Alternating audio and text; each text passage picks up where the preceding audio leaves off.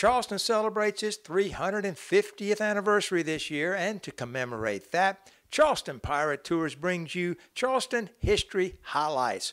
Hi, Eric with Charleston Pirate Tours.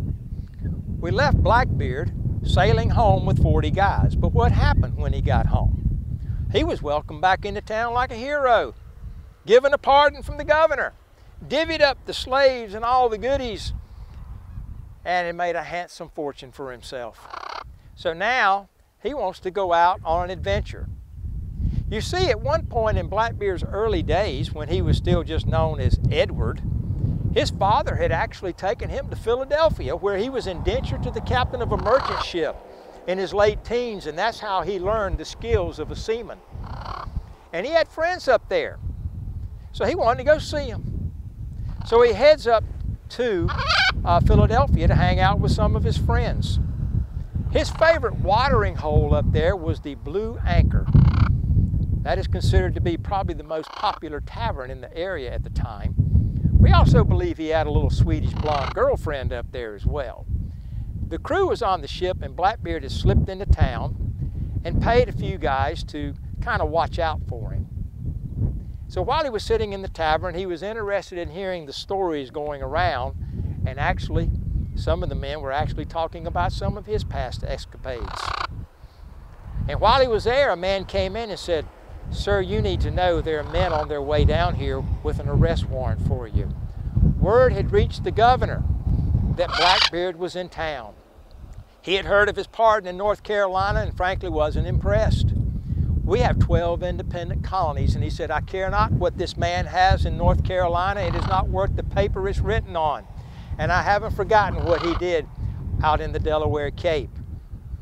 And he was going to have him arrested with his crew. Blackbeard slipped out the back door, made it out to the ship, and said, we got to get out of here.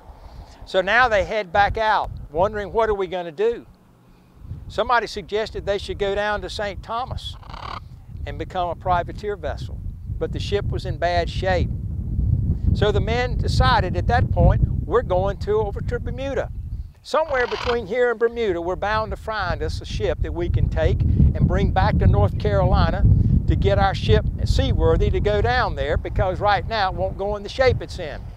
Blackbeard at this point was outvoted by his crew. He was the lone person on that vessel that voted against doing this because he said, gentlemen, if we're caught, this pardon we do have in North Carolina will be worthless. But he was outvoted by the crew. So they head toward Bermuda came across two French vessels under sail, and they ended up capturing these two vessels. One happened to be filled with lumber, rigging, sails, mast, and an extra, um, extra um, uh, material that they needed to repair the ship. The other ship was loaded with the haul of cocoa and sugar from Martinique. So they made them load all the sugar and cocoa onto the ship with the lumber. Blackbeard released all these Frenchmen and brought that vessel back to North Carolina. They go around to the lee side of the island in a little cove off Springer's Point to do this work. Now Blackbeard knows if he gets caught he's in trouble. So he made a quick run to Bath to see his old friend Tobias Knight.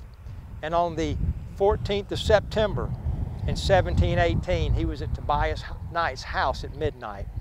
Knight insisted that he go back to his ship and said, all you need to do is come back 10 days from now and we'll go to the governor and tell him you found this ship half sunk outside of the mouth of the inlet and you want a salvage hearing. So 10 days later, he's at the governor's house.